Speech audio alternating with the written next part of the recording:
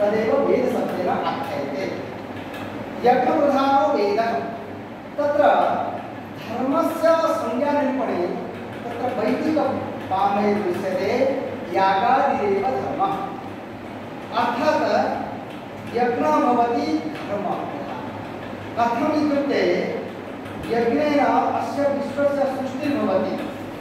तत्र यज्ञकर्मणि अग्नोदर किमपि दीयते। जायते वृष्टेः अन्नं भवति।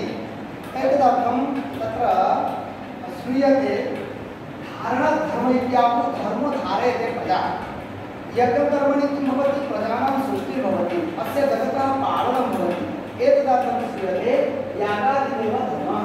अर्थात् विश्वब्रह्माण्डस्य उत्पत्ति, तत्र उत्पत्तिः यज्ञो भवति। तत्र सृष्टेः अन्ते